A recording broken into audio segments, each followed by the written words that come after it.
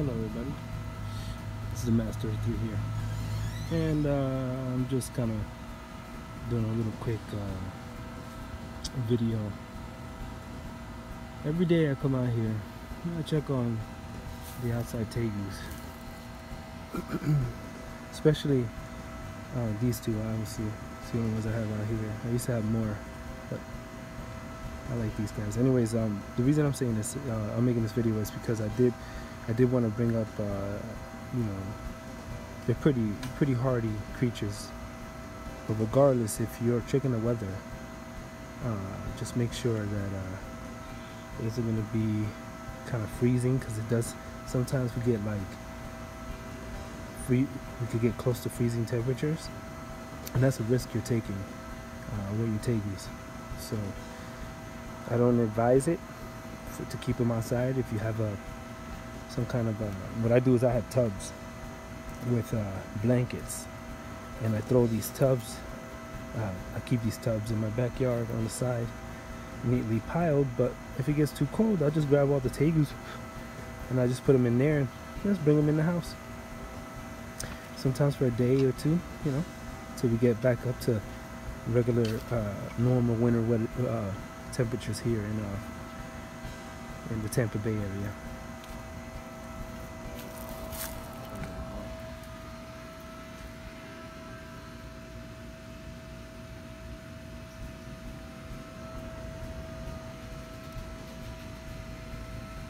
such a good boy.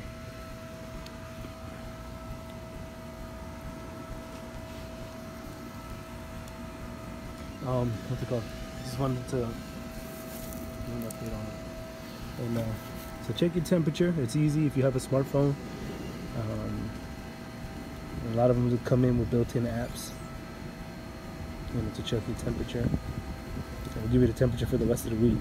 Obviously, you know how to work that. Um, and it's free and it's a good handy uh, tool to use for uh, tegus that are outside okay? Uh, some people don't even do what I'm telling you. A lot of people that have a lot more tegus than me um, let's keep them outside I they're pretty hardy but I just I don't want to do that. I would take that chance.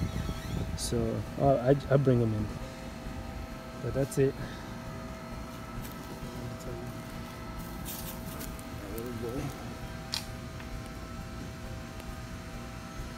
Focusing, I'm trying to say, there you go. This is a freezer. I showed you guys King before. He doesn't like being outside.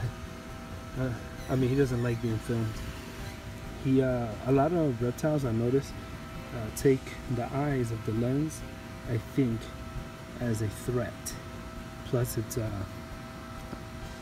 you know, it's like an eye, like a predator eye coming towards them. And I think, I, I swear that they, they don't like it. Some of them don't care.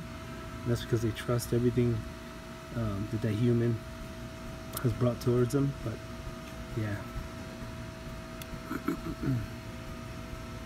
a little good boy. I'll just film him out here peacefully. He's a good boy. Tell me what you guys think. I want to do more videos on these guys and some of the inside tegus. Uh, some of the up and coming projects that I'll be doing next season. Okay, this is the Master 3 and I'm out.